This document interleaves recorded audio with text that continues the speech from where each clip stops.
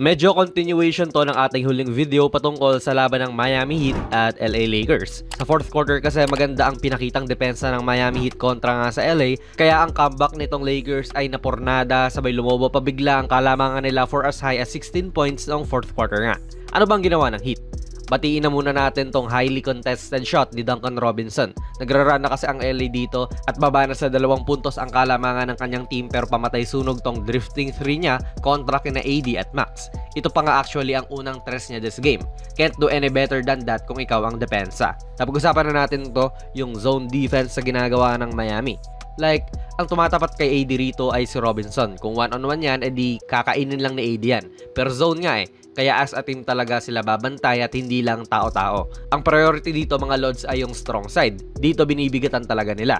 Ang ibig sabihin ng strong side ay kung nasaan yung bola. Kaya tignan nyo tong si AD, may Robinson. Si Lebron, may Hakes. Tapos si Wood naman, may Richardson. Hindi matchup ang pinag-uusapan dito pero mga nakadikit nga sila dyan sa kung sino man ang kalaban nila. And hindi lang yan. Si Bam naman ay nag-aabang dyan sa kung ano ang mangyayari. Priority talaga ang strong side kasi si Kevin Love ay andito lang sa kaliwa. Sabay may dalawang players dyan ang Lakers. Kita nyo nung ginigitna na ni Lebron ang bola, si Bam ay unti-unti na rin gumigit na kasi tumetesting magkat itong si Christie. So yung bigla ang pagiging libre ni Max e pinuna na kagad ng atensyon ni Bam at mahihirapan na si Lebron na ipasa yan. Pinasa na ngayon ni Bron ang bola kay Wood. And dahil ang nasa ibabaw na si Hakes ay papunta pa lang kay Wood, si Robinson na muna ang umangat. And look at Bam, andyan na ulit siya sa kanan at tinatapatan na si AD. So yung strong side talaga ang priority nila. Ipinasa sa poste kay AD pero kukuyugin naman din siya ng dalawa. So quick out na lang din and sinabi na natin to sa nauna nating video, good look pa rin to and kayang-kayang ipasok ng mga players sa NBA yan. Sadly, para sa Lakers hindi lang pumasok at this time.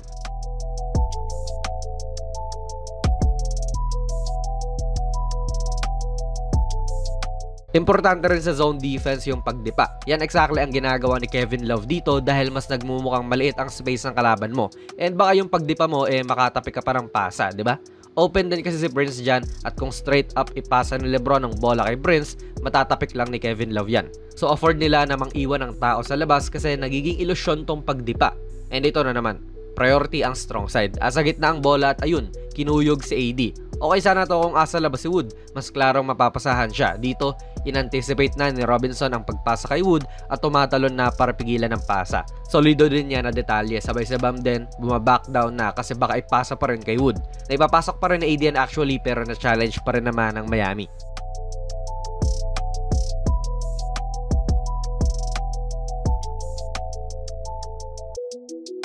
May mga oras na na-figure out to ng LA pero most of the time talaga nahirapan sila. Isa na naman to. Solid yung pag-anticipate ng hit dito. Like gumigit na na si AD and itong si Richardson, medyo pupunta na rin dyan kung nasaan siya para lang mabisok ipasa ni Lebron yan. So obviously, pinasa ni Lebron doon sa open man na si Wood. Pero isang angat lang ni Congressman, andyan na kagad siya sa tapat ni Wood. And yung iniiwanan niya ay sasaluhin naman ng iba. Nakaabang na si Bam dito kung ipapasa man kay Reeves. Pero abangas din siya kung ipapasa rin kay AD. Tumitesting mag-cut itong si Wood pero mas lumala lang ang nangyari dahil ngayon dalawa na sila ni AD yung nandyan sa loob at hindi pwedeng pasahan buhat nung andyan si Bam. Mababasa ni Bam yung pasa dahil silang dalawa ni AD ay magkalapit lang. Ipasa man kay Wood, ipasa man kay AD ni Lebron, mahuhuli ni Bam yan for sure. And again, anticipation, nalolocate ng LA kung sino yung libre. Sa mesenya si AD rito na ipasa ni Lebron kay Wood. Pero ang lapit lang din kasi ni Kevin Love dyan. Bumakpeda lang siya ng saglit at natapikan na.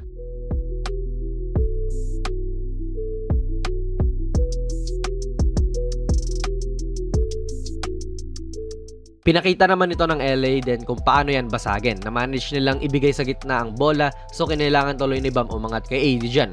May perimeter din kasi to kaya dapat dumidikit din siya. Sabay si Hero andyan din to provide extra help. Kaya nag-open up yung labas kay Wood and once makalampas ka na talaga dito sa defender, nababasag na ang depensa. And yan nga rin yung nangyari.